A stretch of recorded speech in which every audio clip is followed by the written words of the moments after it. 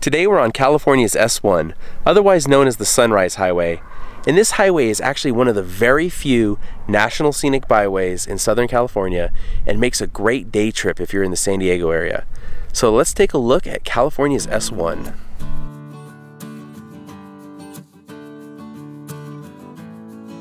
Despite being only about 40 miles in length, California's S1 is one of the most scenic highways in Southern California. The S1 is located completely in San Diego County and stretches from State Route 94 near Campo in the south to State Route 79 near Lake Cuyamaca in the north. In this video, we will be traveling from south to north. The S1 begins in the south at the intersection of Buckman Springs Road and State Route 94. It is here where you will find the only gas stations along the route, as well as a Circle K and a Subway. The southern section of the highway follows Buckman Springs Road until it reaches Historic Highway 80. The S1 is also known as the Sunrise Highway, but only the northern portion of the route, the part that is north of Interstate 8, is officially designated as the Sunrise Highway. While the southern section of the highway isn't usually very crowded and does make a nice drive, there aren't a whole lot of places to stop on this portion of the road. The Pacific Crest Trail, the famous hiking and equestrian trail that goes from the Mexican border to the Canadian border, does travel pretty much the same route as the highway in this area, and there are a number of places where you can access the trail if you want, however. Eventually, the S1 arrives at Historic Highway 80, just east of the ghost town of Buckman Springs, and follows the same route as Highway 80 for a few miles.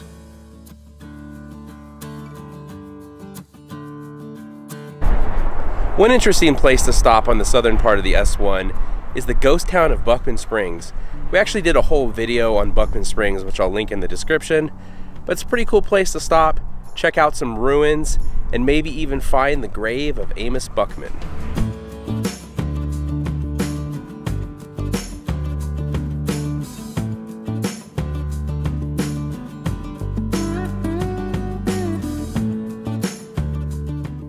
After Buckman Springs, the S1 continues to overlap Highway 80 for a few miles until you cross over Interstate 8 it is here where the S1 officially becomes the Sunrise Highway and where the road's National Forest Scenic Byway designation begins.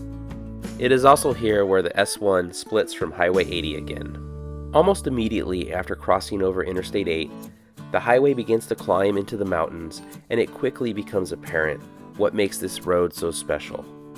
The views you begin to see are amazing, but honestly, this part of the highway pales in comparison to what is coming up later. There are quite a few places to stop and admire the views, and this area is one of the closest places to San Diego that regularly gets snow in the winter, so you'll see plenty of signs warning people not to throw snowballs at cars at every stop. Continuing the drive, you'll pass through some large meadows, then eventually the area becomes much more forested. I should also point out that most of this drive travels through Cleveland National Forest, so if you decide to stop and get out of your vehicle, you do need to display a National Forest Adventure Pass. The National Parks America the Beautiful Pass works as well. If you don't have a pass, there are a few places to buy them along the route, which we'll get to shortly. While this is a great scenic drive by itself, there are quite a few places worth stopping and exploring along the way, so it's definitely worth it getting the pass. As of the making of this video, it costs $5 for a day pass or $30 annually. This overlook across the street from the Sunset Trailhead is a great place to look for wildlife in the mornings and the evenings and is a very popular picnic spot and an extremely popular spot when it snows.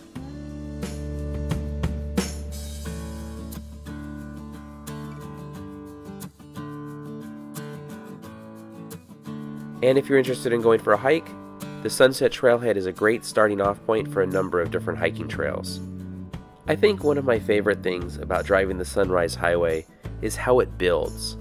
You do get some pretty great views right away, but as you continue on the road, the views just keep getting better and better. It's almost hard to believe that this is less than an hour from downtown San Diego.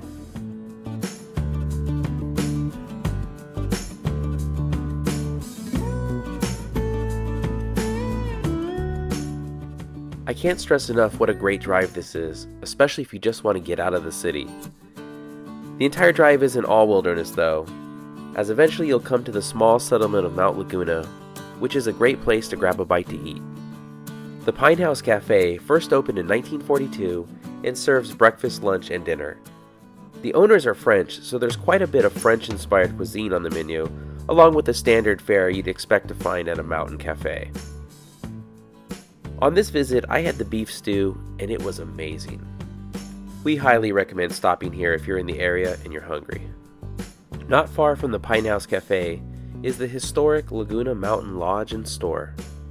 The Laguna Mountain Lodge is one of several places where you can get a cabin to stay the night on the Sunrise Highway, with another being the Blue Jay Lodge right across the street. The Laguna Mountain Lodge also has a post office and a store where you can buy groceries. You can also buy a National Forest Adventure Pass here. Across the street from the lodge is the Laguna Mountain Visitor Center. You can also purchase a National Forest Adventure Pass here.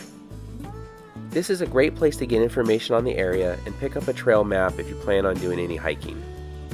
And if you have kids with you, it's a great place to stop, as there's a number of activities for kids to do at the Visitor Center as well.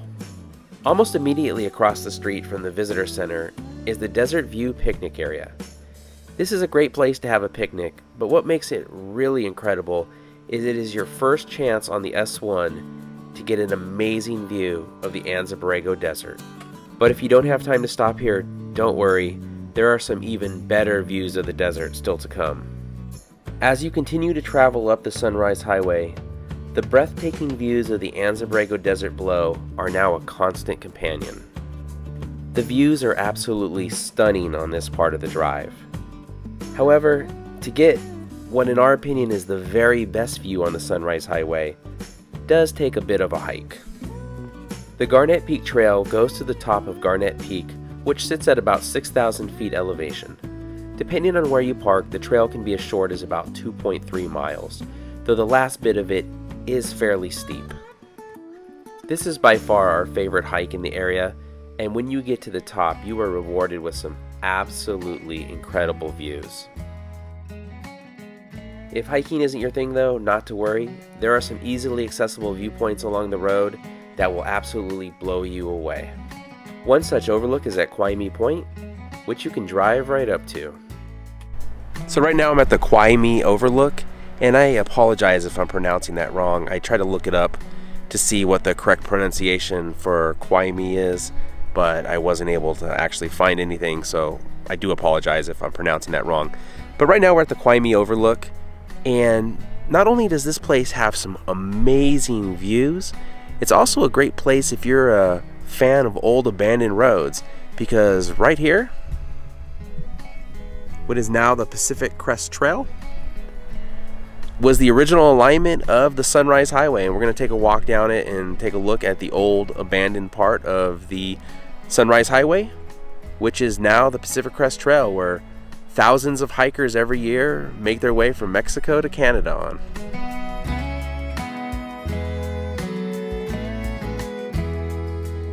And as I mentioned, this was the original alignment of the Sunrise Highway. They moved it to the west because of the number of rock slides that were happening on this part of the highway. And as you can see today, rock slides are still quite a problem. In addition to the old road, at Kwaaymii Point you'll also find a large number of memorials along the trail. There is easily at least a hundred of them.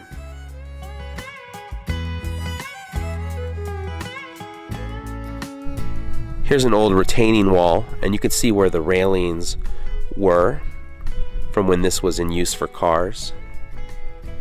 And there are just some amazing views from here down into the Anza Borrego Desert below. Most of the old road is gone, but you can still find traces of it here and there.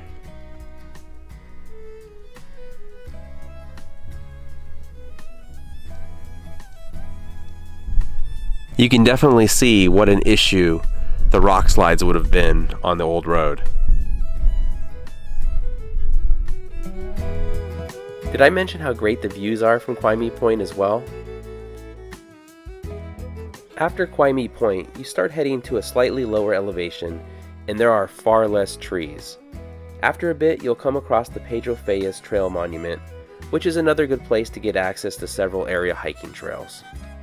The monument honors Spanish Colonel Pedro Fages, who was said to be the first European to see some of the land in the area when he went after some army deserters. Though I guess that begs the question wouldn't the deserters have been the first Europeans to see some of this land? And I mentioned the hiking trails in the area, but this is also a really good place if you're looking for a good mountain biking trail.